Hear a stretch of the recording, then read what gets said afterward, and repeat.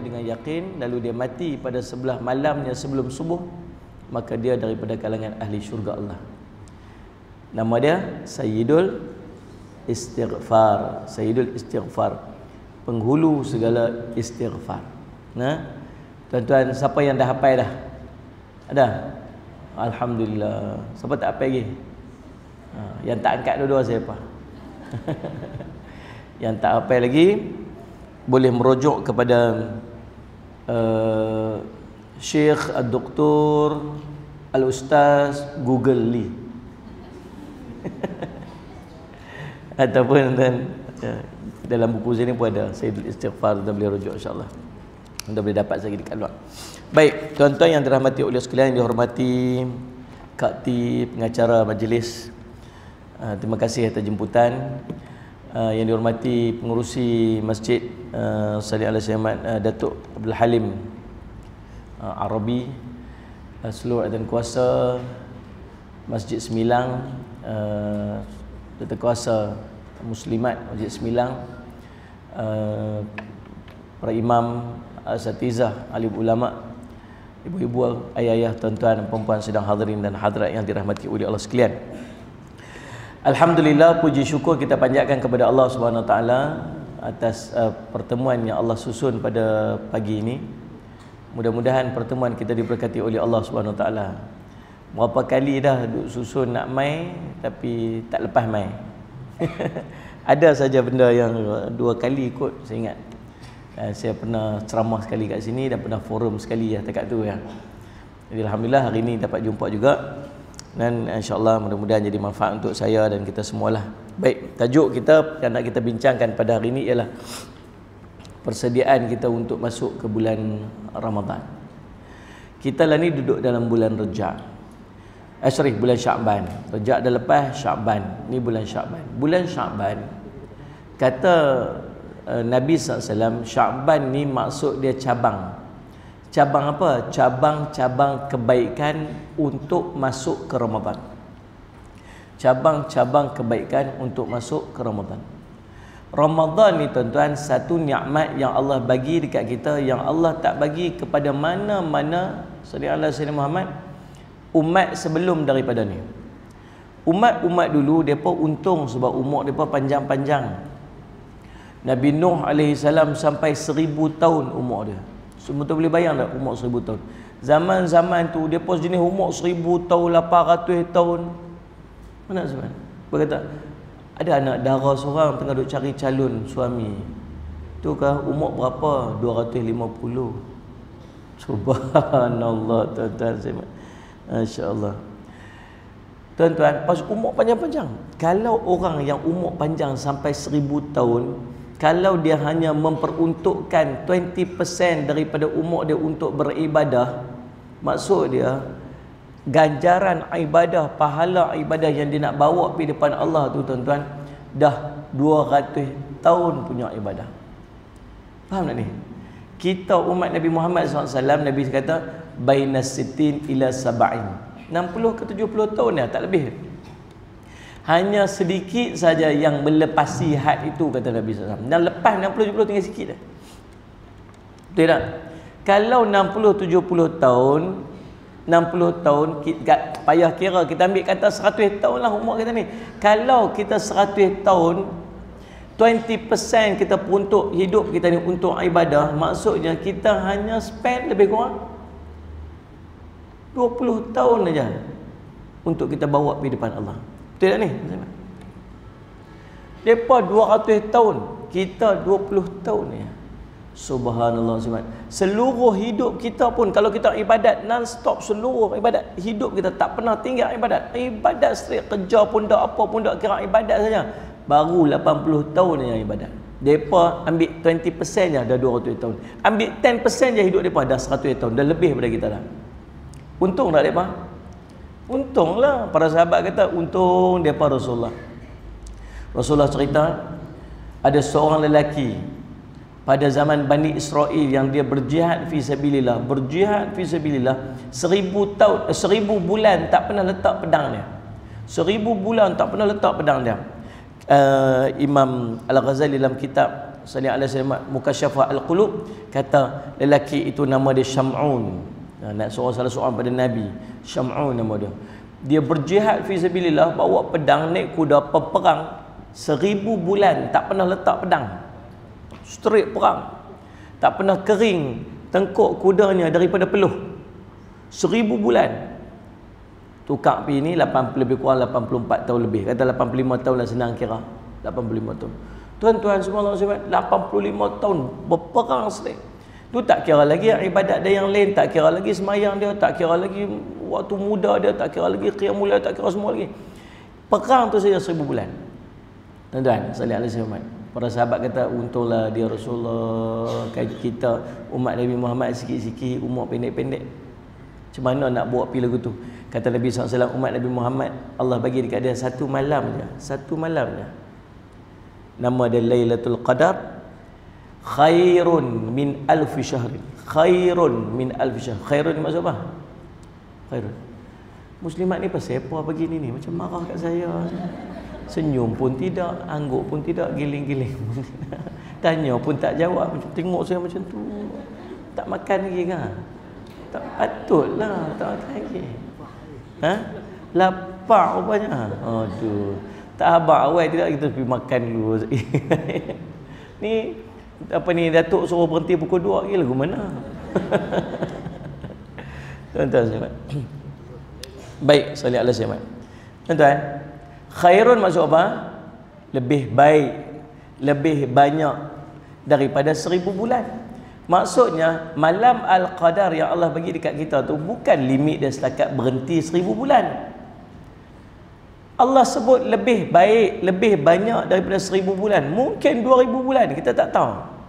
Tapi yang pastinya Allah sebut dalam Quran lebih baik, lebih banyak daripada seribu bulan. Malam tu saja amalan yang kita buat pada malam tu tuan-tuan sekalian macam kita duk buat amalan 85 tahun tak berhenti. Itulah dia panggil Ramadan Allah bagi dekat kita. Tu baru satu kelebihan Ramadan. Masuk Ramadan masuk saja Ramadan kita nak buat maksimum ibadah kita. Nak buat maksimum. Dah dah lah cukup-cukup lah kita main-main dalam dulu-dulu ni. Berapa tahun dah Allah bagi Ramadan kat kita? Kita buang lagu tu ya? Kita lah ni dah umur 50 tahun dah. Lepas balik dah 40 kali dah masuk Ramadan. Saya ingat-ingat lah tuan-tuan entah berapa puluh Ramadan yang kita buang-buang lagu tu je buang lagu tu buang lagu tu je. Lalu lagu tu je kita. Tak ambil manfaat sungguh-sungguh tapi tahun ni agak-agak lah ingat-ingat nak buat sungguh-sungguh pun. Betul tak ni? InsyaAllah kan? Ha, tiga orang dia kata insyaAllah pun. Nak buat sungguh-sungguh ni, nak buat sungguh-sungguh ni. Pasal apa? Pasal berasa rugi sangat. Rugi sangat. Mari kita tengok tuan-tuan. Saya nak bagi satu gambaran. Dalam bulan Ramadan, dalam bulan Ramadan, pahala sembahyang kita, kalau kita sembahyang fardu, sembahyang fardu, dalam bulan Ramadan Allah ganda 70 kali ganda. Bulan biasa amalan fardu kita buat Allah ganda 10 kali ganda. Bila Nabi SAW naik mi'raj kan jumpa dengan Allah Allah bagi 50 waktu semayang. 50 waktu semayang. Turun jumpa Nabi Musa. Nabi Musa kata apa? Berapa Allah bagi? 50 dia kata umat umat kamu takkan mampu umat aku pun tak mampu. Pergi naik balik bincang dengan Allah minta naik balik Nabi SAW Allah bagi diskaun 5 3, 45 turun lagi. Dia kata tak mampu lagi naik lagi naik lagi sampai tinggal 5 kes ni Pak Long tak puas hati. Dia kata? Ustaz saya setiap kali saya dengar kisah Isra Mi'raj ni saya rasa tak puas hati Ustaz. Pasal apa? Ialah Nabi naik pergi naik turun naik turun daripada 50 sampai tinggal 5 Ustaz. Tak puas hati tak mana. Pasal apa Nabi tak naik sekali je lagi Ustaz kalau Nabi naik sekali lagi Ustaz terus tak payah semayang. Mak nak patlung balong nama dia.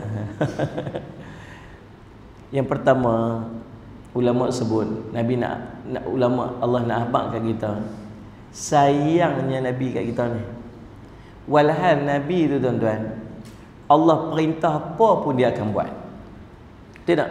Nabi Allah perintah lagu mana pun dia mesti akan buat. Sikit pun tak curi. Pasal apa? Bukan macam kita. Pasal apa nak kenal lagu tu? Awak kenal lagu ni tak boleh kau buat lagu tu? Tak payah buat kot lagu ni. Dulu tak suruh pun orang dulu tak buat pun. Dikira lagu tu. Salih alaihi wasallam. Banyak sangat curi kita ni. Tapi Nabi SAW tuan-tuan, kalau Allah bagi perintah apa pun kat dia, sikit pun tak curi. Dia terima bulat-bulat, itulah dia akan buat. Habis yang naik turun, naik turun tu pasal apa? Bukan pasal Nabi, tapi pasal kita. Sayangnya Nabi SAW fikir nanti kita tak akan mampu buat tu. Tak boleh bayang kalau 50 waktu semayang sehari nak mayang lagu mana. Baru Ustaz duduk Ustaz. Allah Akbar, Allahu Akbar. Masuk waktu belah semayang pula. Baru nak duduk Ustaz. Allah Akbar, Allahu Akbar. Masuk waktu jenun 50, 50 kali. Yang kedua, nak beritahu dekat kita bahawa salih ala saya Muhammad. Tuan-tuan, walaupun lima walaupun lima waktu semayang Allah bagi dekat kita, tapi pahalanya tetap Allah kira 50 kali ganda.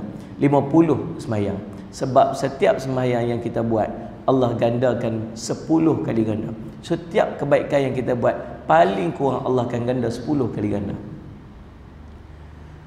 tapi masuk-masuk dalam bulan Ramadan pahala semayang fardu tadi digandakan oleh Allah jadi 70 kali ganda. Kalau tuan-tuan nak bagi mudah faham macam kita buat kita semayang Allahu Akbar habis bagi salam. Satu. Bangkit pula Allahu Akbar. Dua bagi salam. Allahu Akbar. Tiga Allahu Akbar. Berapa kali semayang zuhur ni maklum? 70 kali semayang. Macam semayang 70 kali boleh tak semayang 70 kali tu? Sekali pun menggelupok nak semayang. Semayang 70 kali. Subuh tu semayang tu macam semayang 70 kali. Angkat takbir bagi salam. Angkat takbir sampai bagi salam. Angkat takbir bagi salam. Sampai 70 kali. Tak mampu kita nak buat. Tapi itulah ganjaran Allah bagi dekat kita kalau kita semayang dalam bulan Ramadan.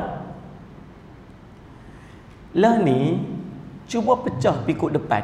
Pecah pikuk depan kau tu. 70 kali semayang tu untuk hari ni, untuk esok, untuk lusa, untuk tulat, lepas tulat. Tunggin, tunggin. Tunggin buyung, betul. Putih beliung. Daripada hari ni pergi ke depan ke depan ke depan ke depan sampai 70 hari ke depan tu. Kita baru duduk berdiri tadi ni, tapi pahala semayang kita dah pergi ke depan. Esok semayang pula. Hari ke-71 ke depan ke sampai 140. Lusa semayang lagi 141. Faham tak ni? Ni ni yang saya duk kira 1 sampai 70. Ni hari mula kita semayang dulu waktu kita balik dulu ni. Ni dah 40 kali dah masuk Ramadan. Ni dah 30 kali masuk Ramadan lah. Tuan-tuan boleh bayang tak? Lah ni mungkin umur kita baru 40 tahun. Tapi pahala amal kita mungkin dah cecah 1000 tahun. Faham tak ni? Ha. tu tak hmm. tu tak kira main jemaah je. Sebab tu saya minta sungguh-sungguh tambah-tambah yang lelaki-lelaki. Apa pun bersopalah. Bulan Ramadan usahalah untuk dapat semayang jemaah walaupun dua orang. Orang lelaki-lelaki ada masjid azam tahun ni satu waktu pun tak mau tinggal sembahyang jemaah azam jangan tinggal satu pun sembahyang jemaah tahu pasal apa? Pasal kalau kita sembahyang jemaah sallallahu alaihi wasallam Muhammad sallallahu alaihi Muhammad pahala ganda pula dengan 27 kali ganda. Satu sembahyang 70 kali ganda campur lagi kali pula dengan 27 kali ganda. Satu kali tujuh puluh kali dua puluh tujuh seribu lapan ratus sembilan puluh. Nampak tak ya Lupa keluar kalkulator Tak payah. Saya dah kira siap dah. Kan Kira siap dah. Seribu lapan ratus sembilan puluh kali ganda Macam semayang seribu lapan ratus sembilan puluh kali Sehari. Bukan sehari Kita pecah ke depan. Pecah pikuk depan jadi semayang macam kita semayang 1890 hari pergi ke depan tu. Satu satu semayang ni, satu takbir buat ni. 1890 hari ke depan tu. Payah kira 1890 hari tu berapa tahun? 5 tahun 2 bulan. Kira kalender Islam 360 hari. Kalender yang ni 365 hari. Kalender Islam 360 hari setahun. Tuan-tuan, mencecah lima tahun, dua bulan punya amal. Satu sekali sekali bayang. Yang kita buat secara berjemaah dalam bulan Ramadan. Boleh faham tak? Subhanallah. Kena pula tuan-tuan sekalian. Salih alaihi Muhammad. Saya sebab saya teringin nak kira ni mana kau? Kalau lah. Tengoklah.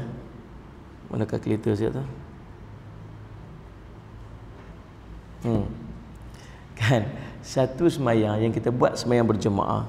Maksudnya, kira lima tahun lah senang kira. Satu semayang lima tahun. Kita ada tiga puluh hari. tiga puluh hari. Baiklah saya Jadi, lima kali lima tahun. Macam mana nak kira? Uh, 1890 kali satu semayang 1890 kali ganda kali dengan 30 hari. Betul? 30 hari semayang. So maksud dia semayang zuhur yang kita buat tu mencecah 56,700 56,700 bahagi dengan 360 hari setahun. Maksud dia 157 tahun.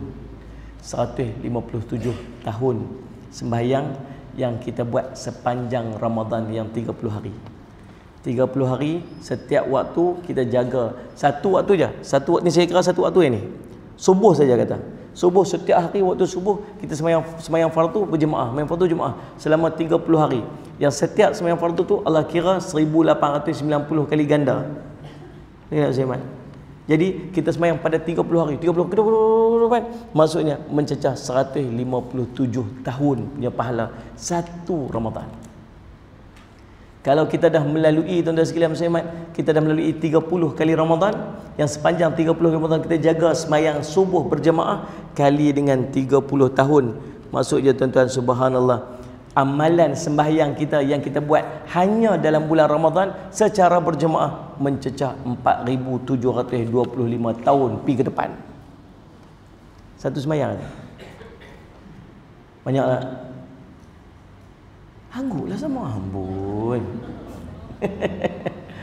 Banyak sebab tu rugi sangat siapa tak jaga sembahyang jemaah. Rugi sangat.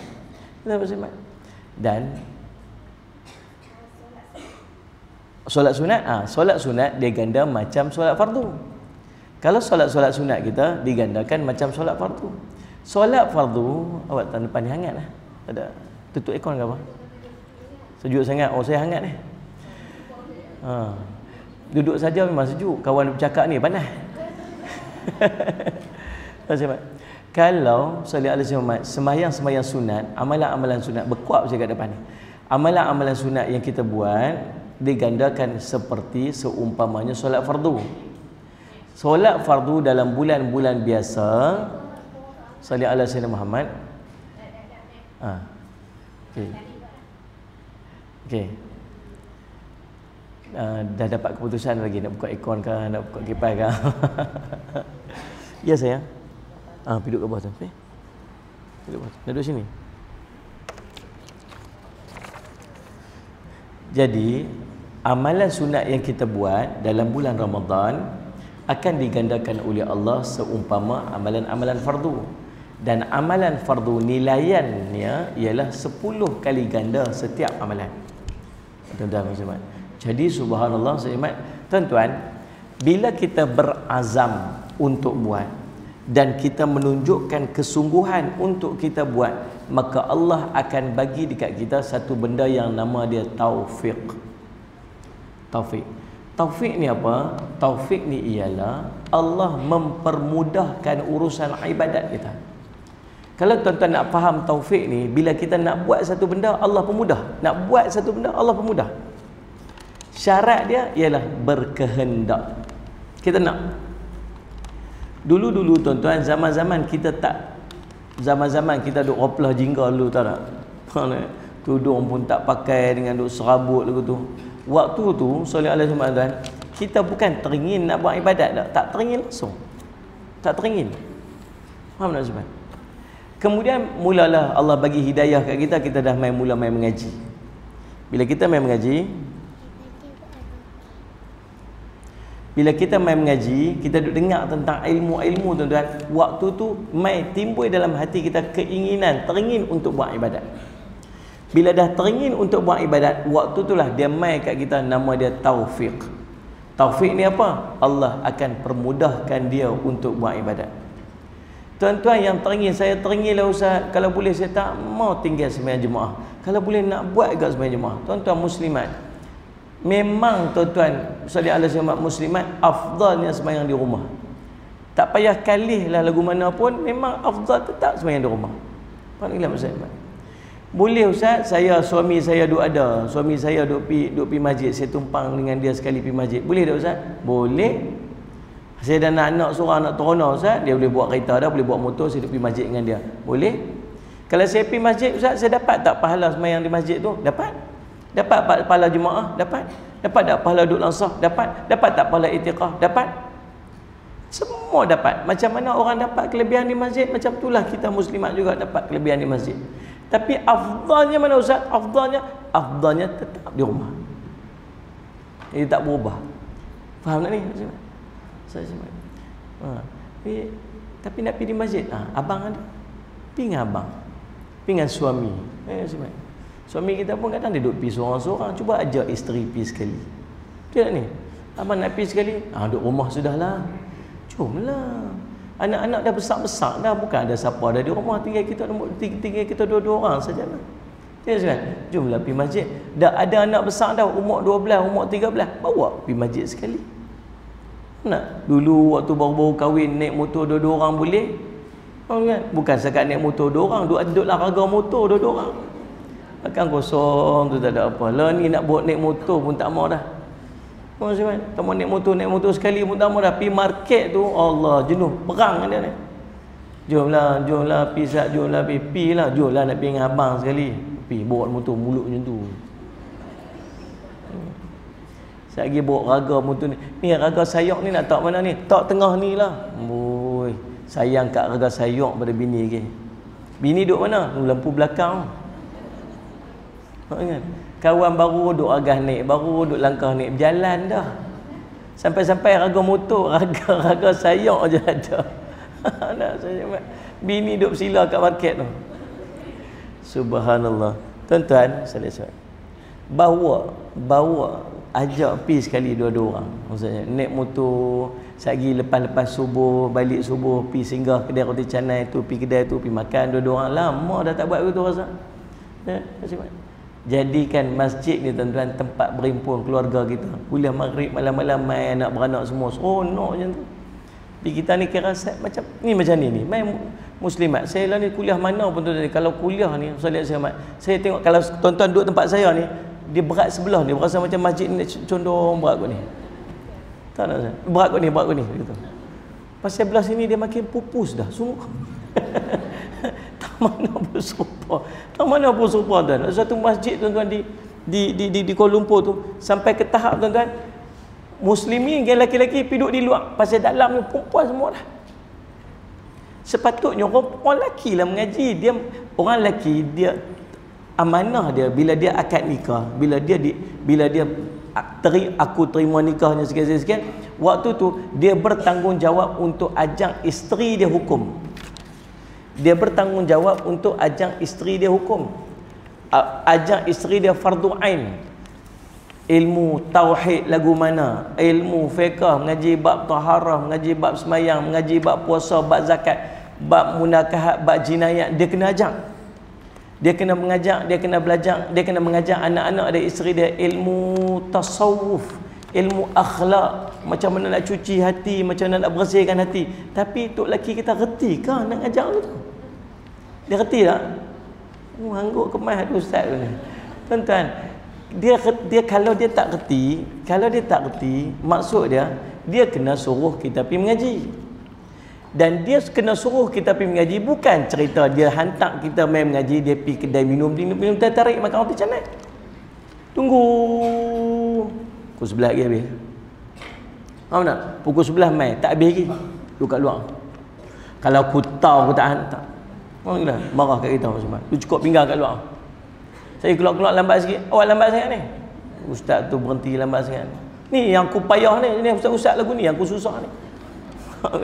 Balik rumah semua. Lah, yang tak pergi sekali pasal apa? Pasal apa dia tak pergi sekali? Taklah wajibnya depa mengaji. Memanglah wajibnya depa mengaji, tapi hang tu wajib mengajar. Saya semat. Dah saya tak kerti mengajak. Bila hang tak kerti mengajak, maksud hang tak tahu. Bila hang tak tahu, hang wajib mengaji. Faham tak ni? Sebab fardu ain tu benda ilmu wajib belajar.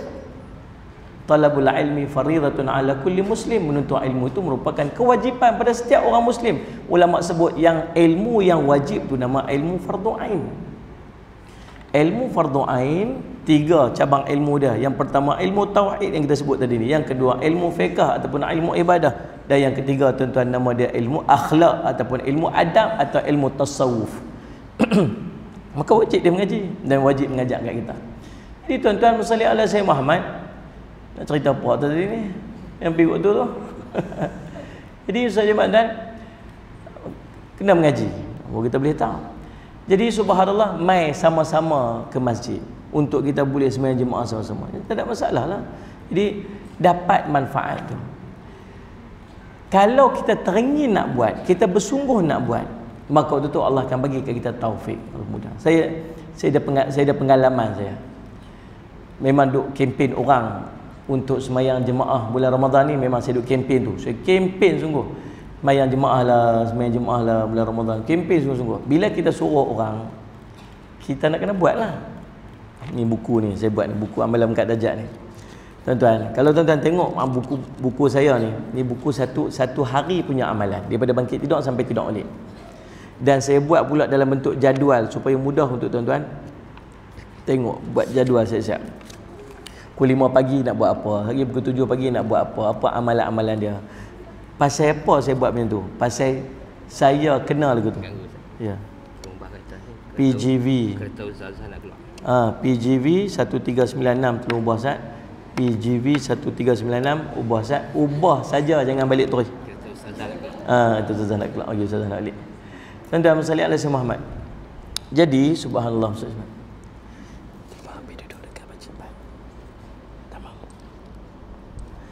Jadi ini pengalaman saya. Jadi tuan-tuan ni, saya susun lagu, saya susun buku ni buat ringkas-ringkas. Tahu pasal apa? Pasal nak suruh buat berat-berat saya pun tak mampu. Saya ajak buat semayang tahajud dua rakaat je. Pasal saya rasa lebih tu saya pun tak larat. Nak suruh buat ibadat berat-berat saya tahu. Kalau saya suruh orang saya tak buat tak patut sangat. Jadi yang duk suruh tu pasal nak suruh diri sendiri untuk buat cerita dia. Duk suruh orang buat tapi tak buat rasa tak patut sangat. Jadi nak buat tebal-tebal lagi ikut tak berani lagi kita tak boleh nak buat. Jadi buat nipis-nipis sudah kita sama-sama boleh buat. Hidup kempen orang pakatlah buat semayang, pilah main jemaah, pilah main jemaah, pilah main jemaah. Tuan-tuan, saya selamat. Saya pun azam berapa tahun dah, berapa tahun dah saya nak saya tak mau tinggal semayang berjemaah. Sepanjang Ramadan tak mau satu pun tinggal main jemaah. Satu hari lepas dia ada saya biasa kalau bulan Ramadan memang jadual memang pack. Memang padat. 30 hari tu tak ada cuti langsung. Sampai malam raya pun ada kuliah lagi. Ha, ceritanya kami ni. Pagi subuh, subuh raya tu pun ada kuliah subuh lagi. Hmm, tak ada cuti, memang tak ada cuti. Tuan-tuan simak. Lepas-lepas zuhur ada kuliah zuhur. Lepas kuliah zuhur letih sangat sebab sebelum tu ada kuliah zuhur lagi. Letih sangat. Pergi baring. Waktu tu dia bagi hotel satu dekat Shah Alam tu. Baring. Lena, terlena tu jerak sungguh. Jerak sungguh jaga-jaga pukul 5 dah lepas orang main asak lah. Tengok Allah pukul 5 dah ruginya ya Allah rugi. sedih ya pasal kita duduk jaga kan sayang. Lalu subhanallah SWT tak apa turun juga turun juga. Turun pergi dekat surah kat bawah. Sampai-sampai kat bawah tengok-tengok orang dah duduk baca Quran. Pakai baca Quran masuk dah habis mayang lah. Allah saya ferah tuan-tuan. Tapi mayang juga Pergi semayang juga buat macam Allah. Tangkat takbir. Allahu Akbar. Elok angkat takbir saja. Tentu ada seorang main kat belakang. Allahu Akbar. Ambil kita jadi imam. Maksud dia nak abang tuan-tuan. Tu nama dia taufik. Kalau Allah nak, kalau tuan-tuan nak satu benda, Allah akan bagi tuan-tuan. Nak tu. Macam kita nak bangkit tahajud. Nak bangkit tahajud lah, nak bangkit tahajud lah, nak bangkit tahajud. Kesungguhan nak bangkit tahajud tu, tuan-tuan akan tengok Allah akan gerak kita bangkit pukul apa-pukul apa. Sebab tu tuan-tuan, Orang tua-tua duk kata tepuk bantai. Nak bangkit tidur tepuk bantai. Tepuk bantai. Dia habak kat bantai tu pukul 5 lah.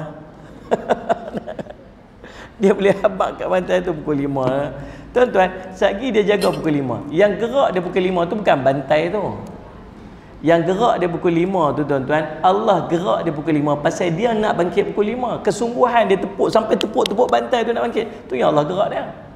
Tuan-tuan, tapi kita ni nak bangkit, nak bangkit, nak bangkit. Allah gerak semua. Allah gerak. Bangkit, uh, bangkit, bangkit. Bangkit, pi beli ayam kencing, patah balik, tidur. Ini jadi tu Muslimat. Pasal apa? Pasal Allah bagi taufik kat kita tapi kita yang tak mau sambut. Sungguh. Tuan-tuan perasan tak? Malah saya duk cerita dekat kat ti dekat noh dekat dekat dekat bertam. Allah bagi Allah kita, kita ni kita lah. Bila sampai satu peringkat umur, mai satu peringkat umur tuan-tuan nak tidur payah. Tidur pun nak tidur malam pun dah tak macam dulu lah. Dulu tok-tok kepala ruyuk, tok-tok kepala ruyuk. Tak cukup malam, siang pun tidur lagi dulu ni. Sambil duduk tengok TV tu, lena. Duduk depan ni, depan mak makan ni. Loh, mak buat apa tu? Lena. Senang tidur kan? Tak cukup malam, siang lena. Tak cukup siang, dalam kuliah pun lena. Dalam kuliah lagi sedap lena. Lama sejuk-sejuk, dia sejuk ni, oh, sedap lena. Tuan-tuan Pak Faham tak? Lah ni payah lena. Masuk-masuk tak kepala terkebir, kebir, kebir, terkebir, kebir, beralih kok ni tak lena, beralih kok ni tak lena. Turun tidur bawah tak lena, atas katil tak lena, bawah katil tak lena, celah katil tak lena. Payah nak lena. Maksudnya, pasal apa payah nak lena? Dulu dulu senang sangat lena. Tahu pasal apa? Pasal dulu tak dan. Nak baca, nak buat amal tak dan. Anak kecil. Ya. Ni ustaz kata bacalah surah Al-Mulk nak tidur, baca surah Al-Mulk nak tidur. Tak kena baca surah Al-Mulk. Siapa ada buku ni? Buka surat, buka surat apa?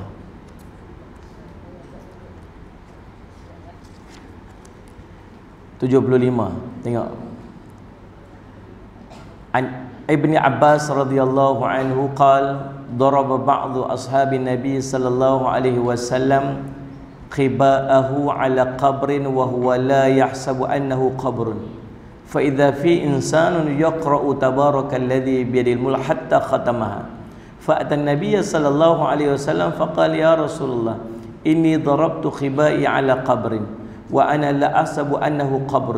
فإذا في إنسان يقرأ سورة تبارك الذي بيد الملك حتى ختمها. فقال رسول الله صلى الله عليه وسلم هي المانعة hiyal mani'atu hiyal munjiyatu tunjihi min azabillah atau kama qala Rasulullah sallallahu alaihi wasallam Ibnu Abbas cerita pernah satu hari berapa orang sahabat khemah atas kubur yang depa tak tahu kata tu kubur. Jalan pi dah malam-malam, letih pasang khemah. Pasang khemah tak tahu kata pasang khemah tu atas kubur. Kita ni memang ada ada apa ada batu-batu nisan aku tu. Ha, jenis-jenis depa kat Arab tu jenis batu nisan. Tak ada jenis tak ketul-ketul batu gitu je. Pasang kemah elok atas kubur tu. Tak tahu kata tu kubur.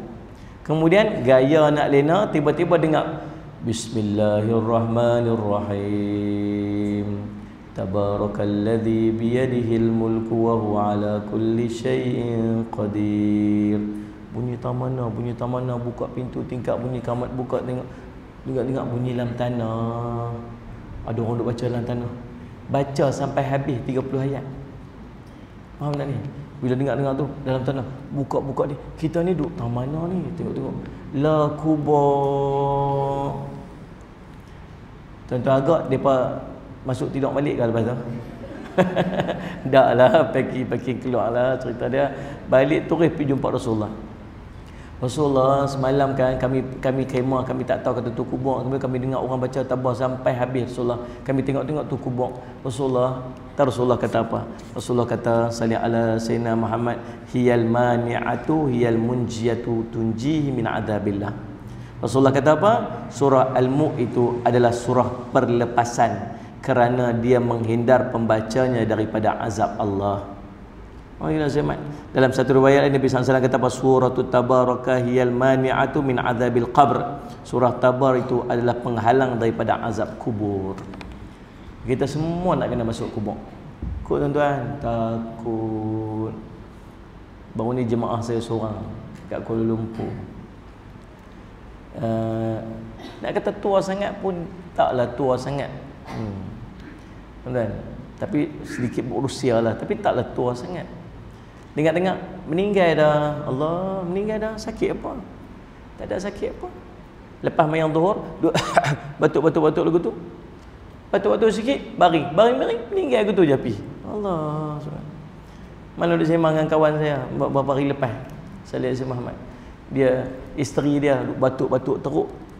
Batuk-batuk-batuk teruk. Berapa lama dah tak tak tak lega-lega batuk tu. Dia pun susah hati.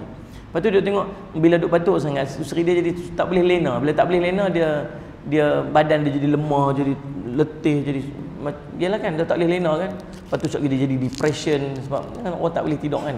Sebab batuk tu duk mengganggu dia tak boleh dapat rehat yang cukup. Tubuhnya jadi sangat letih. Lalu tuan-tuan bersalih ala Sayyid Muhammad dia malam tu dia kata saya nak jaga isteri saya malam ni nak jaga dia tak mau tidur dia nak jaga isteri dia kok kok lagi beralih kok ni kalau dia terberalih lagi dia terbatuk dia akan perbetul balik dia niat macam tu Malam tu dia jagalah. Dia, dia duduk tunggu tepi bini dia. Ni bukan tua sangat. Saya ingat umur dia dalam 60 kan tak sampai 60 lagi. Kemudian datang Ustaz Syamad. Waktu tiba-tiba pukul 2 tu isteri dia bangkit nak pi tandas Zat, nak pi toilet. Dia pun tak apalah pegang tangan isteri dia pi toilet. Pergi kemudian dah buang air apa semua, lepas tu masuk balik. Sehari pukul pukul 3 nak, nak pi tandas lagi sekali. Bangkit bawa pi tandas lagi sekali. Waktu ni dia kata, masih tak larat lah abang, abang minta suami dia tolong cuci najis dia. Suami dia bersihkan najis dia. Kemudian keluar. Pukul 4 lagi nak pergi tandas lagi sekali. Dah tahu dah sampai dua kali berulang dah. Dia kata hampak toto depan tandas tu lah. Depan tandas tu. Baring kat situ lah. Senang sikit sebab duduk pergi tandas kerap sangat. Sekali bangkit nak pergi tandas sekali dia angkat. Waktu ni rasa macam lemah dia tak larat sangat dah. Ha, pegang bawa pergi tandas.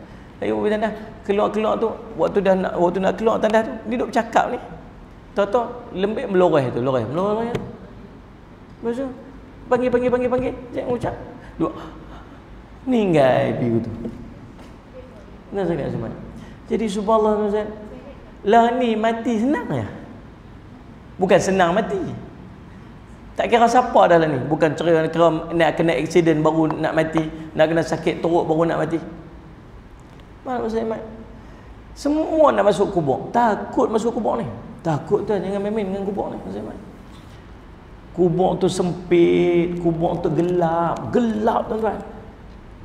Saya saya tengok satu video yang yang saya start pada hari tu saya tak berani tinggal surah tabah ni cerita di Indonesia di Sumatera mana tak tahu. Dia tanam seorang tu dia ingat dia dah mati rupanya dia tak mati lagi. Ha, dia ingat dia dah mati tanam lepas tu bini dia duk insist nak dia kata suami saya saya rasa suami saya tak tak mati lagi. Bini mimpi kalau ke saya tak tahulah. Dia habaq dekat pengulu. Lepas korek balik kubur tu korek-korek balik pun tunjuk video dah dah keluar jenazah tu lak lak lak kat hidung dia. Ambulan ambulan ambulan panggil aku tu. Tak tahulah video tu berhenti tangtu saya lah.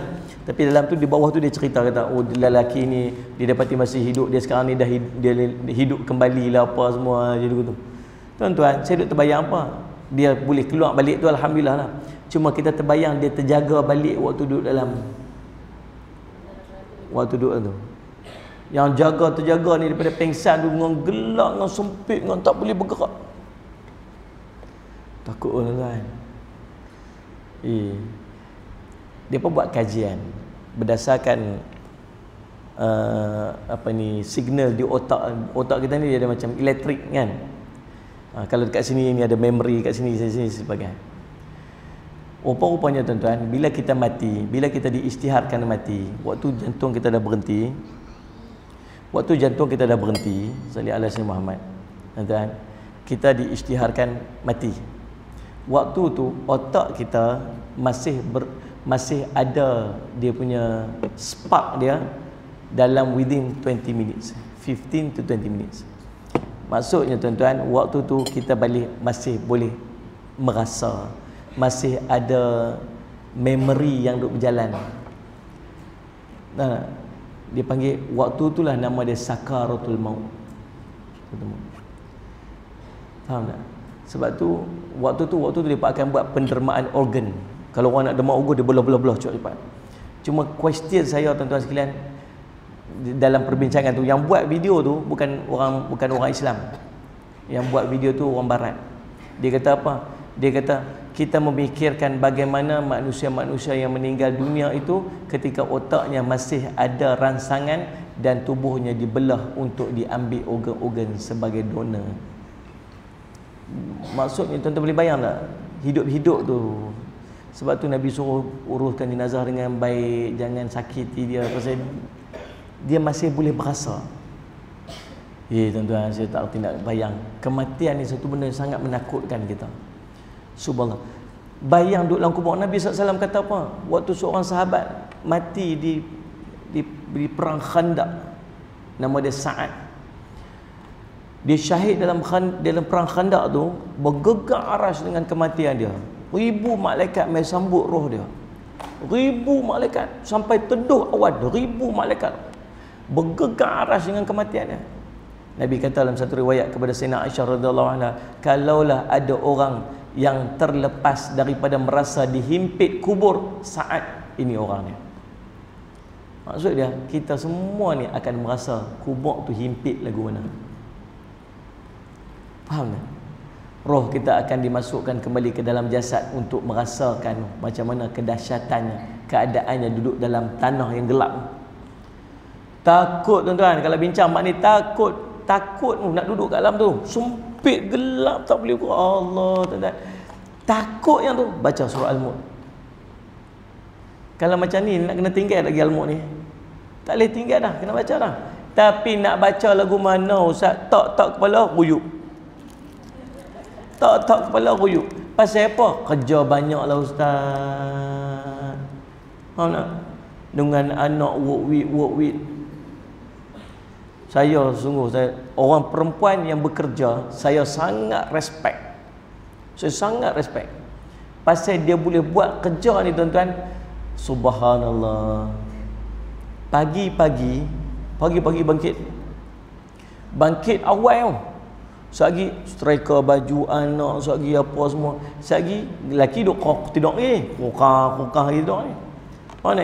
Sagi gerak lelaki, sagi gerak anak, Sagi bangkit laki pun mau lebih mayang. Sagi anak sagi dia siap dia mandi, anak dia siap anak. Sagi pula dia pergi dapur dia masak-masak untuk breakfast. Sagi dia hidang breakfast sagi laki dia pun semua anak-anak dia semua main makan. Sagi pula siap-siap pula anak-anak dia. Nu ada yang suami isteri nu pi hantar anak kat pengasuh pula sambil-sambil duk pi hantar anak pengasuh. Sagi pula pi kerja pula, sagi balik pula balik masak. Eh kata saya kata subhanallah hebatlah muslimat yang kerja yang jaga rumah dengan baik. Respect dekat depa. Laki balik pun penatlah aku hari ni. Abang tolong sat tu pi angkat pinggan tu. Pi lah angkat pinggan tu tahu tak penat ni kerja banyak hari ni. Lah hati kata Allah macam lah aku tak ada kerja. Macam seronok ada apa saya cakap macam tu macam ni. Dia so depa depa tak faham kita. Allah SWT. Jadi subhanallah SWT. Itulah pengorbanan seorang isteri. Allah Letih tuan-tuan.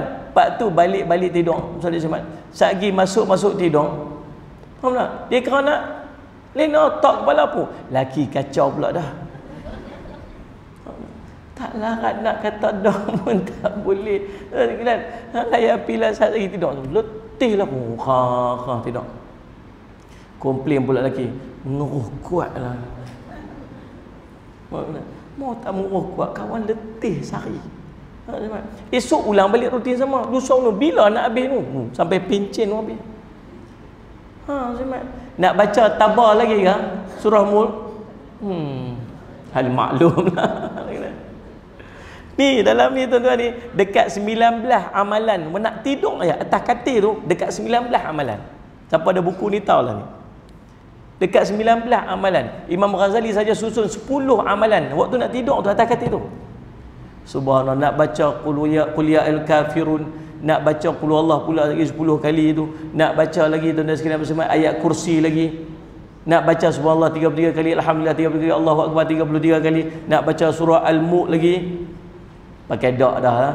tak tak kepala bismillah pun tak ada nah bis. Bis. Letih. Ni anak-anak dah besar dah dah ada cucu dah semua pekat pi pindah habis dah tinggal dua orang lelaki bini je. Ni waktu ni dah dulu tak dan nak baca. Halah baca lah faham tak? Tu Allah bagilah kita peluang untuk kita baca. Yang duk terkebir kebir terkebir kebir terkebir kebir terkebir kebir apa? Bacalah surah al-mulk. Al-Syekh Muhammad. Tidak ni? Cuba baca tengok. Baca sungguh lah bis dia sungguh. Tuan-tuan Sadiq Al-Syekh Muhammad lepas tu pula mai jenis tengah malam terjaga pula. Eh, gaya tidak sa'ud jaga jaga tidak sa'ud jaga. Terjaga tu pasal apa? Dulu tak dan dulu letih. Ha nak ni? Nak bangkit tahajud tak sempat. Ha lah ni bangkitlah tahajud bukan ada apa dah. Bukan gaduh-gaduh nak serika baju anak dah. Bukan gaduh-gaduh nak kelang kabut nak pergi hantar anak pengasuh dah. Bukan kelang kabut nak pergi masak-masak apa dah tak tak ada dah cukup-cukup dah. Sekalian si Muhammad laki kita pun bukan nak makan banyak sangat dah cik manis dia pun macam manis lah gangguk lah darah tinggi semua ada macam ni. Tuan-tuan bakar-bakar roti sikit nak abang makan itu sudah lah minum milo pun milo kosong. Milo pun tak boleh minum lah ni kosong lah ya. Dah waktu tenang-tenang lah waktu rehat-rehat lah. Waktu untuk kita buat ibadat. Tu nama taufik. Allah sayang kat kita Allah bagi kita peluang untuk kita buat ibadat faham tak Ustaz Samad? Maka tuan-tuan bersungguh-sungguhlah untuk kita buat ibadat. Jadi masuk Ramadan kali ni dah dah cukup-cukup dah tak mau dah duk pikir-pikir lagi nak raya nak pakai baju apa nak sedondon lagu mana satu keluarga nak pakai macam mana. Yang tu biar anak-anak kita pula fikir ni apa mentikai tirai-tirai nak tirai macam mana nu kapet lagu mana? Bila nak makan. Hmm? bila nak makan. Sekejap ni ni kat pakcik makan macam mana boleh okey okey bat ambil Fatimah tak dia nak makan Tuan-tuan, salli tempat bawah tu ada bantu saya. Tuan-tuan, salli ala saya saja saja bawa. Jalan jarang duduk sekali. Anak anak cuti sekolah bawa lah. duduk tadika. Tuan-tuan, salli ala saya Muhammad. salli ala saya Muhammad. Jadi duk tak payah duk kalut lah. Cukup dah. Kali ni waktu kita nak tumpuk ibadat sungguh-sungguh. Nak tumpuk ibadat. Uh, nak fikir nanti bila nak beli baju raya. Nak pergi beli baju raya pergi belilah ni. Bulan Syaban ni. Faham tak? Saya nak pesan ni dengar elok.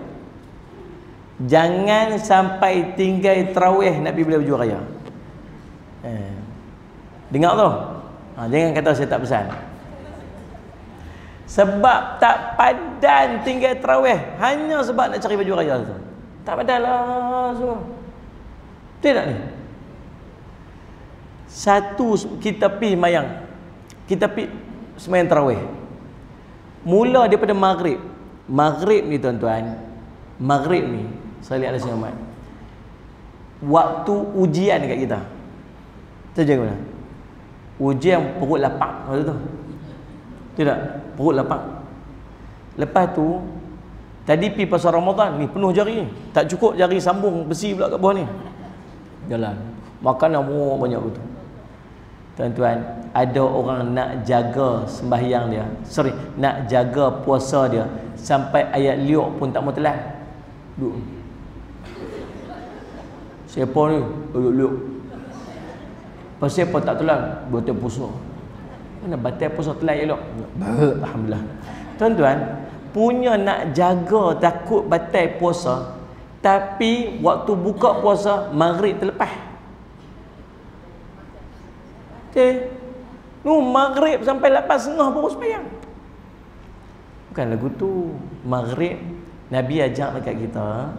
Tanda saya ada benda dua tiga benda waktu buat tu buka puasa ni yang saya nak pesan.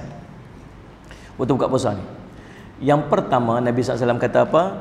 Umatku sentiasa berada dalam kebaikan. Sehinggalah apa? Man ajal fitr. Orang yang bersegera uh, berbuka uh, macam mana maksudnya wa akhrus suhur dan mentakhirkan uh, bersahur jadi memang waktu nak buka puasa ni Nabi suruh kita segerakan yang ni memang tak payah suruh. Memang duk buat dah. Mana? Pukul 7 20 nak buka puasa pukul 7 10 standby kurma dah. Standby standby. Sama arah masuk mulut. Sama tok bila a je kak masuk mulut dah. Ha, yang ni tak payah suruh. Memang cekap bab tu. Cumanya tuan-tuan saya nak minta satu benda. Waktu tu antara waktu makbul doa. Dua waktu waktu makbul doa tu ada dua waktu tu. Yang pertama waktu sebelum berbuka pasal tidak ada hijab orang yang berbuka, orang yang berpuasa sehingga dia berbuka doa dengan Allah direct pi maka sebelum buka puasa tu waktu makbul doa yang kedua waktu makbul doa tu apa? Tu ketika berbuka tu tu waktu makbul doa maka tuan-tuan saya nak pesan dekat tuan-tuan waktu tu banyakkan berdoa Habis nak buat lagu mana Ustaz? Duk kalut-kalut, duk kalut-kalut, duk kalut-kalut. Lagu ni. Kalut awai. Tahu kalut awai? Tuan-tuan set pukul katalah kita buka puasa pukul tujuh suku katalah tujuh suku. Pukul tujuh tu semua dah duduk depan makan dah. Semua. Maksudnya yang awal tu nak pergi buka nak pergi buka getah nak Tahu saya kata pasal apa buka getah? Pasal beli kat pasar Ramadan je bukan rajin masak sangat pun. Anak ni buka getah tu buka plastik ni apa semua orang tuan-tuan tuan tu semua sebelum pukul tujuh. Lagi pi hidang siap-siap pukul tujuh panggil semua pi duduk kat depan tu. Makan sekali. Jangan makan asing-asing. Tuan-tuan kita Allah bagi nikmat dekat kita tuan-tuan tu anak beranak yang duk ada tu subhanallah tuan sekalian. Antara benda yang jangan buat ialah makan asing-asing Nabi suruh makan sekali dalam berjemaah. Nabi SAW pernah seorang lelaki tanya, Rasulullah, pasal apa saya makan je tak cukup, makan tak cukup, makan tak cukup. Rasulullah kata apa? Kamu makan seorang-seorang kot. Kata, ya saya makan seorang-seorang. Makanlah berjemaah sebab dalam berjemaah itu ada berkah. Berkat. Maka duduklah tuan-tuan, Muslimat, panggil anak-anak semua. Kita lah. Saya ada seorang kawan. Daripada meniaga ada satu tanah yang besar. Kemudian pakat-pakat buat berniaga. Semua buat berniaga. Tak bercakap. Abang tak bercakap dengan adik adik tak bercakap dengan abang. Dia kata kat saya ustaz ustaz tahu tak kami adik beradik tak tak bercakap putus hati. Pasal apa? Lama dah ustaz. Pasal, pasal apa? Dia kata saya ingat ustaz. Mak kami tak pernah ajak kami anak beranak makan sekali. Kami tak pernah makan sekali Kita waktu kita bulan-bulan biasa kita sibuk kerja tuan, sibuk kerja pagi-pagi nak breakfast sekali tak dan. Anak-anak pun buat bekal breakfast pergi sekolah. Ya. Tengah hari memang tak dan nak makan sekali pasal apa sibuk kerja. Balik petang-petang pun dah kalut letih. Mana dan nak masak-masak nak duduk berhimpun makan-makan tak dan tak macam kita dulu-dulu. Kita dulu-dulu tu tuan, waktu kita kecil-kecil dulu kalau ayah tak main duduk meja makan dengan harap nak makan. Betul tak? Panggil mai mai, mai semua-semua duduk ni, semua kena duduk cokoh gitu. Gaya nak ambil sikit, eh, ayah tak mai lagi. Ha tunggu. Sekali ayah mai berapa kali makan. Pasal apa? Mak kita sangat jaga keberkatan, makan sekali. Kita tak ada lagi. Sebab tu anak-anak kita tak mau pandang muka kita. Sebab tu anak-anak kita tak dekat dengan kita. Pasal dia tak dia tak ada hubungan hati kita. Sikit hari depa adik-beradik akan bergaduh. Ha ni sebab. Ramadan saja Allah bagi peluang untuk berhimpun nak beranak. Waktu sahur berhimpun sekali, waktu buka puasa berhimpun sekali. Sehari dua kali Allah bagi kita berhimpun nak beranak. Tapi dak tak berhimpun. Pi hidang makan dekat tu, anak-anak seorang tu pergi depan TV. Yang seorang lagi dengan gadget dengan handphone. Yang seorang lagi dengan game dia. Mana? Yang ayah duduk kat luar. Pasal apa buka puasa kat luar tu? Pasal dia mengambil sunnah untuk berbuka puasa dengan rokok dulu. Pokok dekat ujung tangan ni. Mana? Allahu Akbar, Allahu Akbar. Ambil kurma makan. Dia sunnah dia rokok dulu bawa kurma. kat luar. Yang laki duduk kat luar. Yang yang mak dekat mana tu? Tu, celah peti air tu. Sambil duduk teriak. Duduk dengar nyanyi lagu Piramli balik kampung. Dia tak boleh balik hari tu. Seorang kat sana, seorang kat sana, sana, tuan-tuan. Hilang berkat waktu yang sangat berkat. Tak. Bukan saja buat, kita tak perasan. Oh, kita tak perasan. Lepas ni jangan buat dah. Pimpun ramai, panggil semua. Mak kena main peranan. Main di tempat ayah, di tempat ni, tempat, tempat mana duduk. Duduk situ. Kemudian, mula pukul tujuh, nak buka puasa, pukul tujuh suku. Ayah doa. Ayah doa. Mana saya mat? Ayah bagi ayah doa. Doa ni tuan-tuan, waktu mustajab doa tu, waktu tu. Direct, tak ada hijab.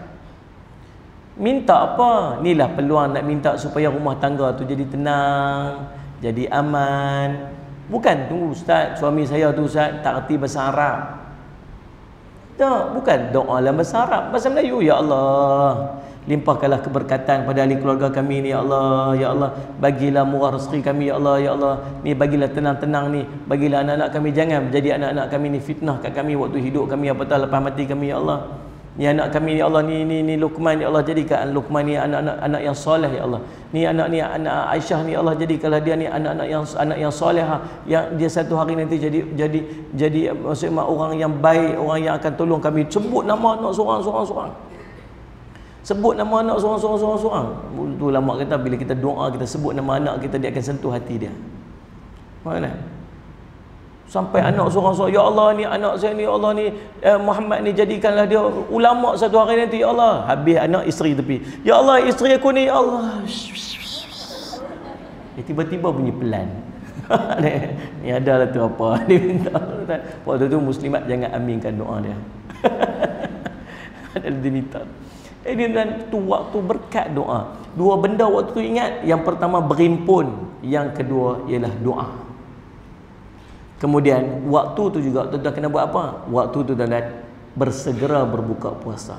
Masuk je waktu dah berhenti doa makan. Mana? Makan. Makan apa?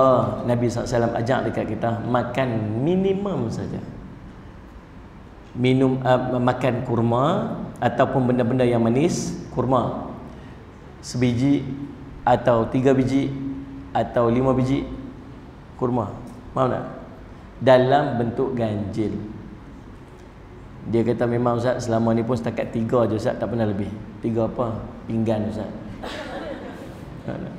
Jadi tiga biji kurma selesai makan tiga biji kurma minum air pergi semayang. Pergi semayang. Kalau tuan-tuan boleh semayang boleh buka puasa di masjid pergi semayang jemaah di masjid ahlan wa sahlan. Kadang masjid sediakan buka puasa kan? Pergi buka puasa masjid paling best sebab dia confirm tak terlepas semayang berjemaah dan confirm dapat semayang awal. Kita di rumah sangat berisiko. Makanan teridang kat depan. Tapi kalau ni saya nak cadang pada tuan-tuan ni. Sebab muslimat ramai Yang bestnya saya sedangkan orang lelaki. Tapi orang perempuan main peranan yang ni. Tahu buat lagu mana? Sambil hidang makan Sambil siap tempat semayang Faham? Hidang makan siap Pi pula tempat semayang Hampak tani tempat imam Tani tempat makmum. Kita anak ada empat orang suami kita ada kita isteri dia mana anak tuan-tuan hampak tu anak lelaki-lelaki duduk tepi dia kalau ada seorang. Kalau ada anak-anak lelaki berapa orang tak bawah dua lagu tu silang tu. Kemudian sekali ni yang muslimat yang perempuan pula duduk di belakang. Jadikan solat jemaah dekat dalam rumah kita lepas buka puasa. Yang ringan tu. Mak kena bunyi suara sikit lah ya. ok kita makan ni. Tahun ni mak nak buat beza sikit pada tahun dulu-dulu. Apa dia?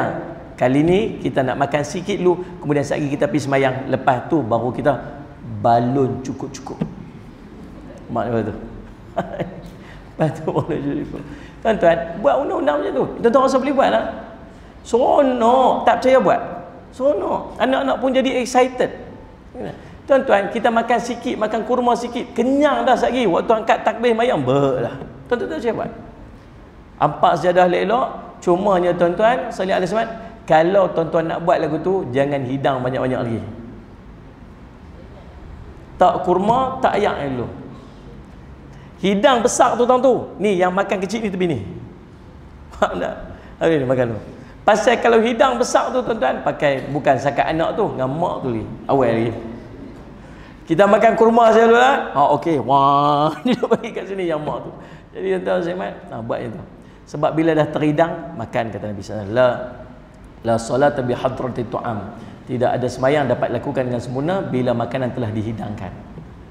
Nah, masjid pun sopanlah kalau nak buat buka puasa nak buat buka puasa di masjid kalau nak suruh makan kurma dulu jangan hidang makanan besar tu. Hidang siap dah dia cantik tuan-tuan. Orang cerdik orang lapak ni tuan-tuan. Dia nak duduk dia bukan main duduk lagu tu je. Dia pilih tempat duduk. Udang tahu mana? Ni dia tengok udang tu dia memang sedap je duduk tang udang tu. Cantik dah. Faham tak? Ha. Saya kan nak berterah tu. Dengan duduk diri-diri, udang duduk melambai lagu tu. Tiba-tiba pengurusi boleh buat pengumuman pula. Tuan-tuan ya kita di jenis masjid ni Jenis makan kurma dulu. Sekali kita pergi semayang Lepas tu kita makan balik. Faham tak ni? Tuan-tuan dia makan kurma sambil dia tengok udang tu Sekali tempat aku orang balas Sekali empat kaya Nak semayang dia Allahu Akbar hmm, Pergi dah udang aku tu sekali Dengar pula ada wik-wik budak-budak kat belakang pula dia kata memang cerah sungguh lah udang aku. Tuan-tuan agak khusyuk tak mayang dia. Tak ada khusyuk dah. Kalau dah hidang macam tu makan terus dah. Tapi kita kerugian sikit lah sebab kita delay waktu maghrib ni waktu sangat pendek. Maka saya cadang ni di rumah kita pasal ni cerita muslimat ni. Lepas ni siap satu tempat kat sini ada kurma ada ayak dulu tak tepi. Tempat yang main punya nak makan sikit tang ni. Mana siap tang ni. Nak buka puasa ringan tang ni, lepas tu pi hampak sejadah siap-siap dah. Hampak sejadah, hampak membuat tempat ni tempat kita nak sembahyang sekali. Makan kurma minum ayak apa sikit, jom kita pergi sembahyang dulu. Suruh mereka ambil wuduk siap-siap sebelum buka puasa. Ambil wuduk siap-siap sebelum buka puasa. Lepas tu sebab sagi anak kita memang lihat cerita betul. Lagi dia buat pukul apa lagi nak sembahyang lagi nak makan pula. Maka tuan-tuan, pesan dia siap-siap. Pi semua ambil wuduk siap-siap, ambil wuduk siap-siap, duduk dalam keadaan wuduk dah waktu nak buka puasa tu. Lepas tu sekali nak semayang, pergi kumuk je. Kumuk, kumuk, kumuk. Jom kita pergi semayang. Habis semayang, semayang ringkas-ringkas. Habak kat ayah. Tak usah duduk baca panjang-panjang sangat lah. Macam lah ayah tu duduk baca panjang-panjang sangat pun. Dia pun cakap kuliah kuliah Allah saja. Sekali dia tarik nun pula. Tahu nun? Waladhalin amin. Nun. Nun pula dah. Dia kata mesti panjang. Nun. Nun. Takat nun tu aja. Allahu Akbar. Ha, jadilah. Lepas tu pergi semayang. Lepas tu pergi makan. Makanlah tuan-tuan masalah semayang. Eh tuan-tuan cuba buat macam tu. Baru best. Faham tak? Waktu paling best tu waktu yang kita tak dapat pada bulan-bulan yang lain tapi kita dapat pada tu. Lepas tu yang pertamanya kita dapat semayang maghrib berjemaah. Selesai dah. Selalu terlepas tak maghrib tuan-tuan.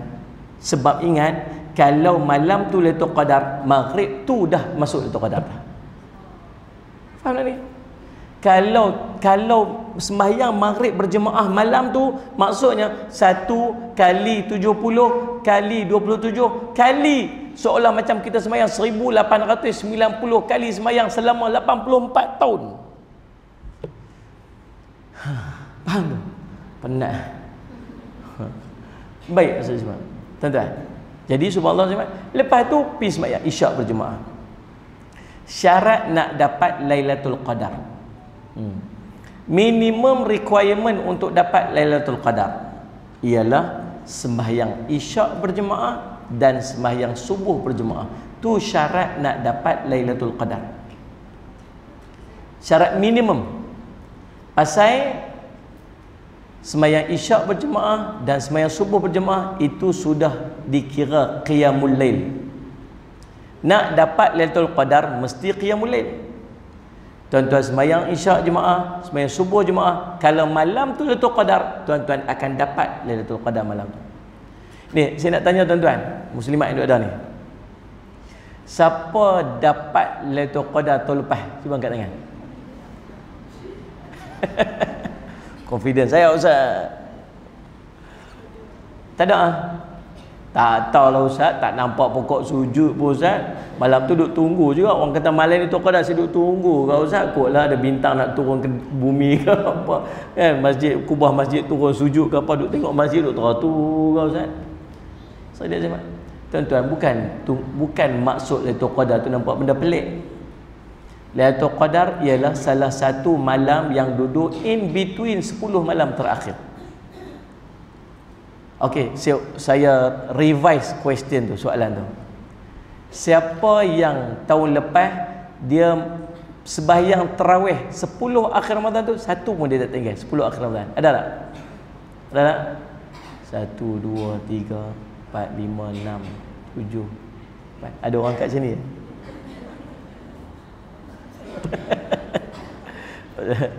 Faham tak? Tuan-tuan, siapa yang sembahyang terawih InsyaAllah Selama 10 akhir dalam bulan Ramadan Maksudnya Salah satu malam itu Dia telah melalui Lailatul Qadar Tidak? Ha, maksudnya Confirm kena Sebab dia duduk celah-celah tu je Siapa yang tertinggal satu malam Tak boleh confirm. Satu malam je. Pasal apa? Pergi beli baju raya. Bukan baju raya, buat semperit. Tuan-tuan, sebab silap-silap malam dia pergi tu, malam tu tu qadar. So tak ada confirmation kat dia. Kalau ni Rugilah tuan-tuan Sal ni tak ada 15 Ramadan salam dah Salam Ambil makcik salam awal itulah kita jumpa tahun depan lah nah. Ambo, pasal apa makcik ni tak habis lagi terawih ni. Itulah kuih semperik tak siap lagi. Mereka order seribu biji. Itu yang prek prek prek seribu biji. Tuan-tuan orang dapat malam seribu bulan Dia dapat malam seribu semperik Rugilah Rugilah Rugi rugi rugi Ha nak dengar semat Tuan-tuan Salih alaihi semat Jadi tahun ni misi mengejar Lailatul Qadar. Tahun ni. Boleh? Misi mengejar Lailatul Qadar. Jadi disebabkan kita nak the maximum Ramadan ni. Ramadan ni daripada satu Ramadan sampai malam raya nak maksimum. Ingat saya nak pesan. Pesanan lagi ni. Malam raya jangan uh, abaikan jangan lalai malam raya malam raya malam tu malam ujian malam tu malam kita terima anugerah anugerah takwa nama dia malam tu. Tapi ramai orang fail malam raya. Setuju dengan saya? Sepanjang Ramadan jaga malam raya. Malam tu tuan-tuan malam makbul doa kata Imam Syafi'i. Lima malam makbul doa. Malam Jumaat malam nisfu Syakban malam satu Rejab dua malam hari raya. Malam tu malam ibadat malam tu malam nak qiyamul lail malam tu malam nak baca Quran malam tu malam nak baca doa. Tapi malam tu kita mai ujian.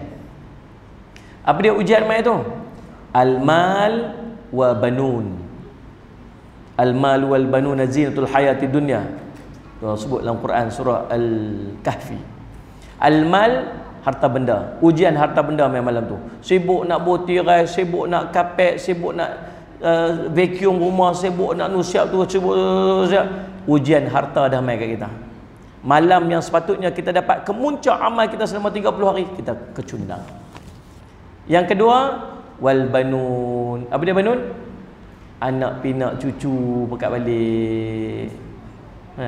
sebab tu malam raya sama tak jemaah dia macam 10 akhir Ramadan. Tak payah awal lah. Awal tu kot dahsyat sangat. Dah 10 akhir Ramadan tu tinggal satu soh lah. Tinggal satu soh malam raya tu ada satu soh tu. Tu imam pun tak main. Pasal apa? Bukan sini lah tempat lain pasal apa tu imam tak main? Cucu balik. Eh, yang sepanjang 30 yang sepanjang 29 hari tu ni yang jenis punya undang-undang. Makan dulu pi semayang lepas tu mayang sekali baru makan. Rasa malam tu boleh buat tak undang-undang tu? Boleh buat tak tak boleh dah. Nu yang balik Johor buat mai satu bekas. Nu yang balik Kuala Lumpur buat mai satu bekas. Nu cucu pula ni buat mai hadiah kat tok. Ni lah cucu dia pula. Ni dia buat makanan special kat tok nak makan. Tuan-tuan agak-agak nak pergi mayang maghrib dulu kan nak makan dulu kan Rai lah ni ni tetamu mai ni. Wow ni. Cucu ni ni macam mana? Sekolah macam mana? Eh seronoknya ni seronok seronok seronok. Maghrib 8.30 lah tu.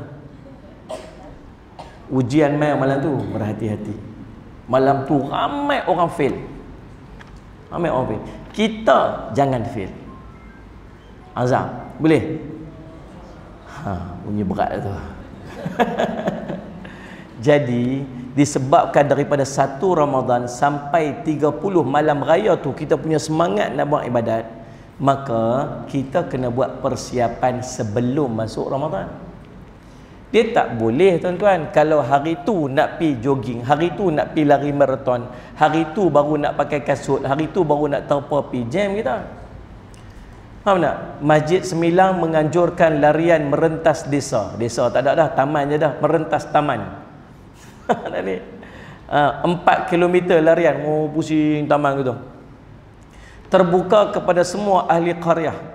Sila daftar pada pagi itu saya semat ha, untuk apa ni larian tersebut. Hadiah sekian sekian sekian. Hadiah terpawai. Ha, nak? Hadiah tempat pertama terpawai dengan sebatang pen dan pembaris.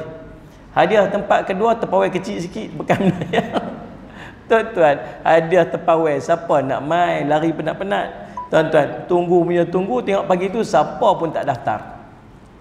Tak ada siapa pun daftar. Bila tak ada siapa pun daftar, pengurusi buat pengumuman. Ah, semua yang duk ada kat sini sebabkan kita tak ada siapa pun daftar. Jadi semua AJK AJK ni lelaki ke perempuan ke muslimat semua, semua pi balik tukar baju, kita lawan lari. Dengan maklum subhanallah, maklum nak lari lagu mana ustaz? Maklum pun kena lari sekali. Tak ada siapa nak lari lagi. Mana ni maru ni?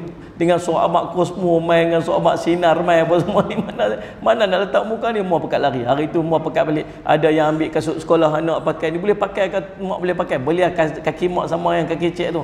Sulung-sulung kasut sekolah anak pakai. Tuan-tuan tak pernah duduk lari 53 tahun dah tak pernah duduk lari. Hari tu nak kena lari 4 km tuan-tuan agak itu mana?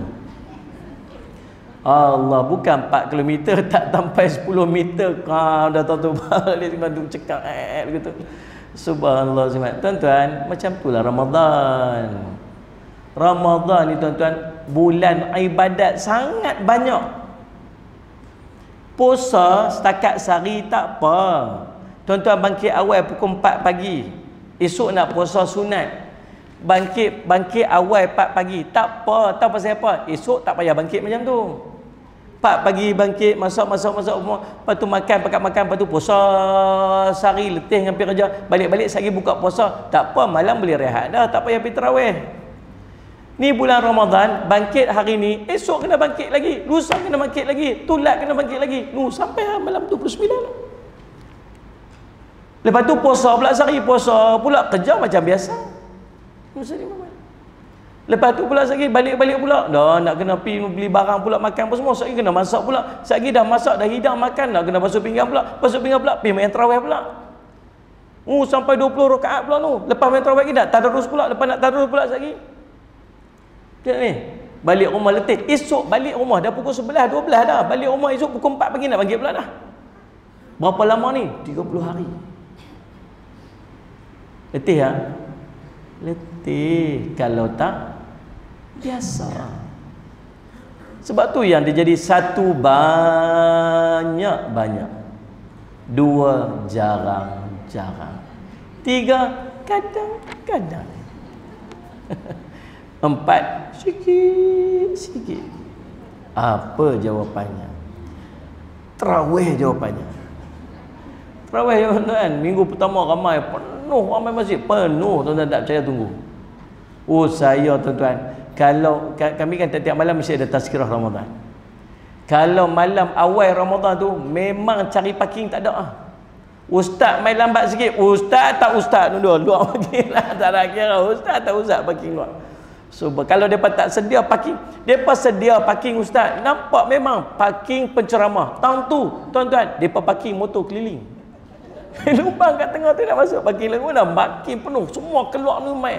Terus sekalian daripada gua tu daripada lubang cacing tu semua pekat keluar mai. Semua pekat mai sembahyang itu. Subhanallah. Tambah kemah kat luar. Kita tu amboi ramai sungguhlah kemah pasang ni? Kemah Ustaz. Sewa kemah ni? Sewa Ustaz. Sebulan sewa ni? Dah Ustaz seminggu je. Sebab tahu hari tu ramai orang mai ha, lepas tu makin surut Minggu dua tinggal separuh dah. Jarang-jarang main dah. Minggu tiga kadang-kadang main, kadang-kadang tak main dah. Main, main minggu keempat tinggal sikit ya. Siapa? Main tinggal JK, geng-geng geng asal balik ah. Yang lain sudah balik ke gua masing-masing dah. Kadang-kadang kita masuklah senarai tu. Paling obvious sekali tuan-tuan, Quran. Betul tak? Paling obvious sekali Quran. Quran. Allah. Tiap-tiap tahun tu lah cerita dah nak khatam nak khatam nak khatam. Tak khatam-khatam. Betul kan ni? Tapi yang ni saya yang ni saya respect muslimat. Muslim memang sekak bab-bab ini tuan kita lah Allah hari pertama sejuzuk nak khatam Quran maksud setiap hari kena satu juzuk tak dapat satu juzuk tak khatam. Tuan-tuan bila hari pertama sujud semangat, semangat. Nampak tu, nampak 30 hari memang boleh khatam dia sujud. Mai hari kedua dapat sujud lagi. Nampak nampak cantik boleh khatam ni. Mai hari ketiga, selek lagu mana? Tinggal sekerat juzuk ya. bila sampai sekarang itu tak apa boleh kecap lagi boleh kecap lagi puluh tak dapat kecap tak dapat nak kecap hari ke hari keempat tinggal setengah juzuk lagi dia main waktu tu kata apa hmm, nampak gaya tak khatam lah ni faham tak main hari kelima boleh puluh sikit lagi tapi semangat tu tak sama macam awal dah pasal apa nak kecap tak dapat dah akhirnya main hari keenam tuan-tuan tak jumpa juzuk dah jumpa jus je jus orange jus orange jus apple macam tu lah tiap-tiap tahun lagu tu lah Tiap-tiap tahu macam tu lah nak buat lagu mana lah kita ni. Tak pernah duk khatam. Tapi hari khatam Quran, dia bersila sekali tu. Subhanallah. Masuk gambar tu. Oh, tiap-tiap tahu khatam Quran. Wah, tak khatam pun. Ni Zimat? Pasal apa? Pasal tak biasa. Benda tak biasa. Jadi, saya Zimat. Cara dia, biasa-biasakanlah. Apa ni Zimat? Okey, macam mana cara nak bagi lekat tu? Nak bagi-bagi pada tahun ni nak bagi maksimum ibadat kita. Buat persiapan. Bermula bila? Syaban. Sepatutnya rejak tu ni. Tapi Syaban ni dah masuk Syaban dah buat guna. Yang pertama apa Nabi SAW buat dalam bulan Syaban? Nabi memperbanyakkan puasa. Sampai para sahabat kata apa? Seolah-olah kami tak pernah nampak Nabi berbuka.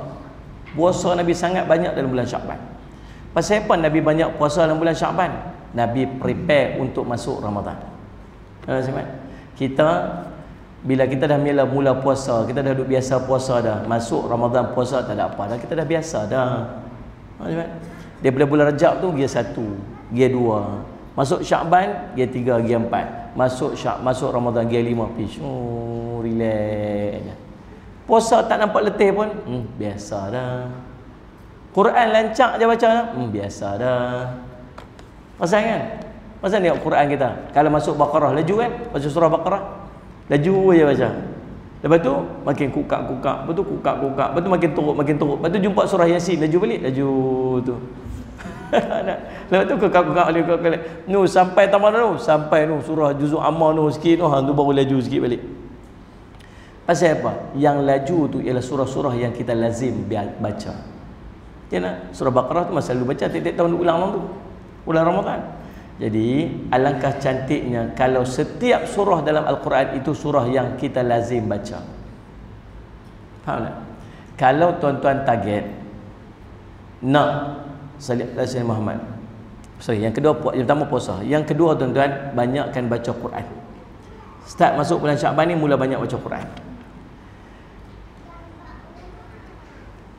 Uh, tak payah angkat tangan lah Tapi saya nak abang siapa di kalangan kita yang tahun lepas dia tak berjaya untuk khatam Quran dia bukan sekat tahun lepas tahun sebelumnya tahun sebelumnya juga tahun sebelumnya juga ada tak?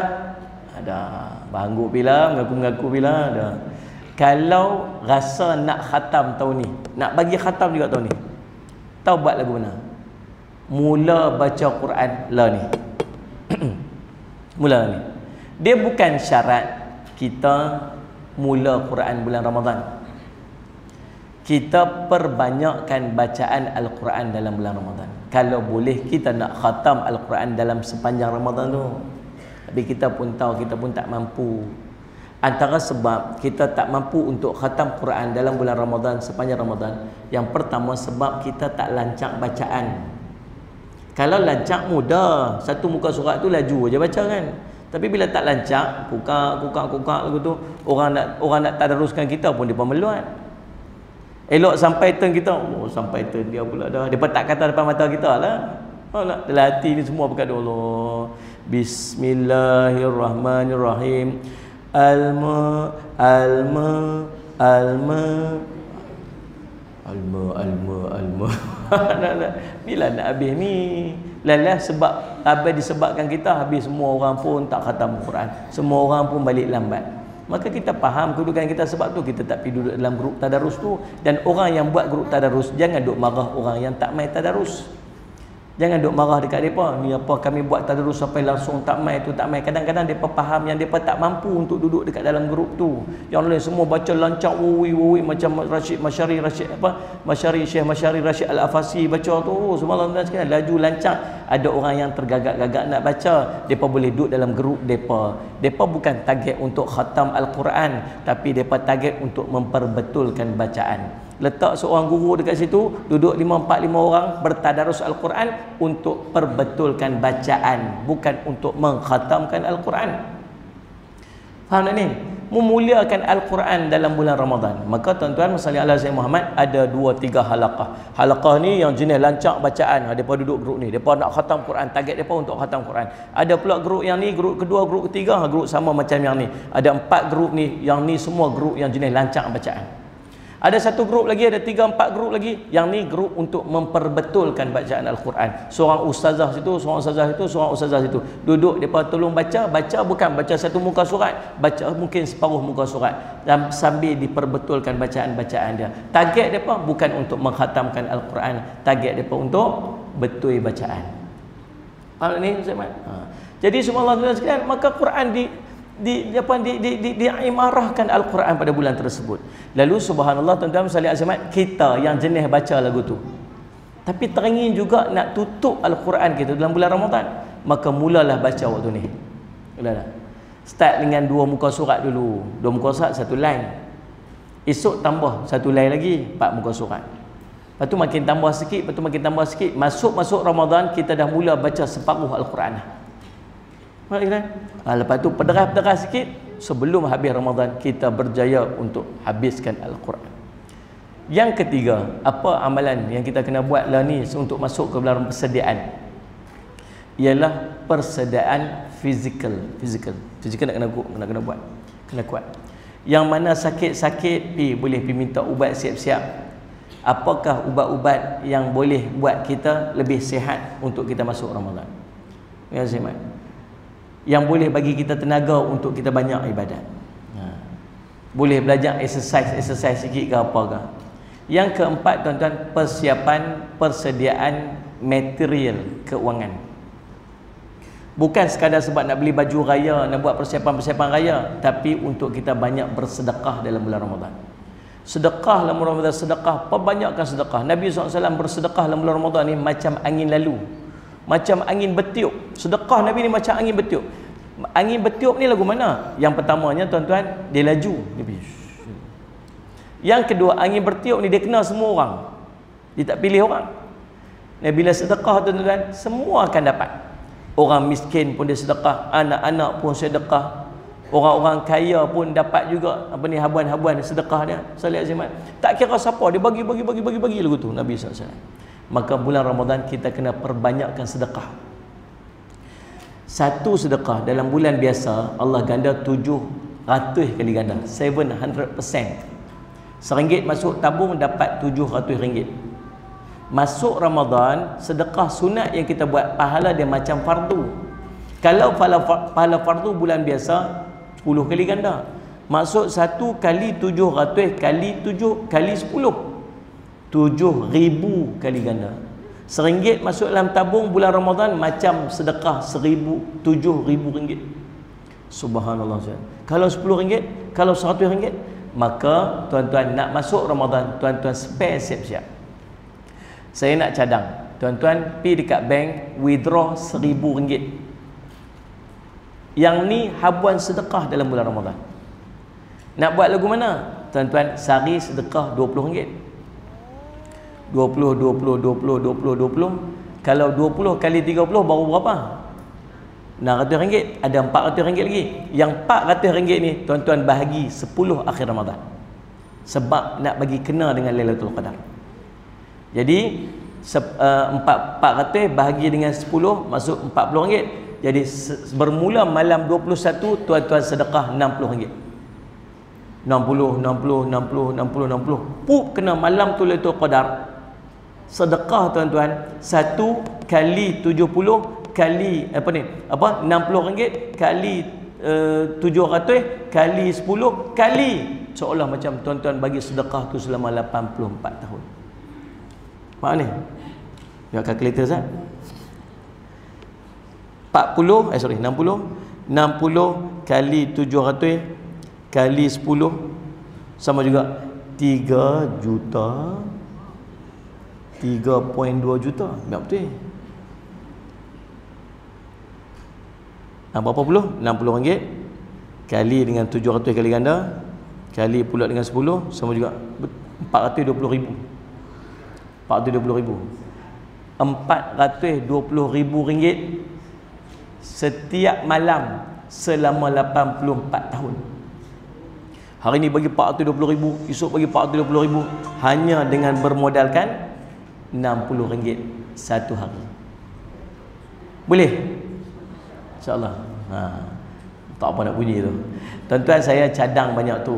Lebihnya tuan-tuan pulang tuan-tuan. Saya tak mampu Ustaz. Sakat seribu saya tak mampu Ustaz. Tapi sakat lima ratus insyaAllah. Ha. spare lima ratus. Nak bagi ada konsisten setiap hari ada sedekah yang kita buat faham tuan-tuan sekalian kalau tuan-tuan rasa tak tahu Ustaz saya nak pergi masjid pun tak ada apa sedia satu tabung sedia satu tabung di rumah kita tabung Ramadan Setiap hari bubuh, setiap hari bubuh, setiap hari bubuh. Nak pergi masjid malam, nak pergi tarawih bubuh, nak pergi tarawih bubuh, nak pergi tarawih bubuh, belah malam nak bagi dapat Lailatul Qadar. Faham? Faham? Ha. Habislah, tak tahu Ustaz duit banyak sangat ni, tak tahu mana. Nu, Ustaz Jafri, Ustaz duit ada mana? Tapi nombor akaun berapa pergi masuk kat madrasah saya. ada nak pakai. Jadi tuan-tuan, persediaan material. Yang kelima, persediaan ilmu. Nak masuk Ramadan kena ada ilmu. Ya, ilmu berkaitan dengan puasa, apa perkara membatalkan puasa, solat Jumaat, macam mana kita nak dapat kelebihan-kelebihan dalam berpuasa, macam mana nak cari Lailatul Qadar. Ilmu penting untuk kita buat uh, persiapan untuk kita masuk ke dalam bulan Ramadan. Jadi tuan-tuan, saya rasa cukuplah sekadar tu. Nah, mudah-mudahan insya-Allah sedikit daripada perkongsian kita jadi manfaat bagi kita. Uh, dan sebelum tuan-tuan balik lagi dekat luar sana tu ada tabung untuk kompleks Islam Darul Faizin yang kita bangkit kita bangunkan di Bandar Baru Kedah. Pondok pengajian moden ada tarfis ada makcik-makcik mengaji ada 40 orang. Pondok moden kita panggil eh tuan-tuan uh, kalau tuan-tuan nak tumpang untuk pembangunan dan pengurusan kompleks Islam Darul Faizin ahlan wa sahlan ada kat luar dan buku saya ni pun yang mana yang tak dapat lagi uh, boleh dapatkan dekat luar buku amalan mengangkat darjat saya susun amalan daripada bangkit tidur sampai tidur balik Uh, mudah-mudahan dia akan jadi manfaat bagi kita insyaallah. Aku qauli hadza wa astaghfirullah li wa lakum. Wassalamualaikum warahmatullahi taala wabarakatuh. Bismillahirrahmanirrahim. Alhamdulillahirabbil alamin wassalatu wassalamu ala asyrafil anbiya wal mursalin sayyidina Muhammadin wa ala alihi washabihi ajmain. Allahumma faqihna fid din wa 'allimna ta'wil waj'alna min ibadikas salihin wahdina siratal mustaqim. Allahumma arina haqqan haqqan warzuqna ittiba'ah wa arina batila batilan warzuqna ijtinabah. Wassallallahu ala sayyidina Muhammad wa ala alihi wasallam walhamdulillahirabbil alamin. Tuan-tuan yang berkelapangan tengah hari ini saya nak jemput tuan-tuan ke madrasah saya. Kami buat kenduri. Uh, lepas zuhur uh, ada tazkirah zuhur sikit insya-Allah. Kemudian uh, kita akan uh, buat kenduri ini untuk pelajar-pelajar kita yang akan berlepas ke Turki pada 29 hari bulan ni. Ada tujuh orang pelajar kita yang nak berlepas ke Turki. Jadi kami buat kenuri hari ini tengah hari. Kalau tuan-tuan lapang, saya jemput semua. Buat dengan keluarga. Pi terus ke selatan. Sampai Tol Bandak Baru. Tol Bandak Baru. Uh, Parik Buntak. Tak ada ni. Lepas tol lepas tol jauh, lepas tol Jawi. Ada Jawi atau Bandak Baru.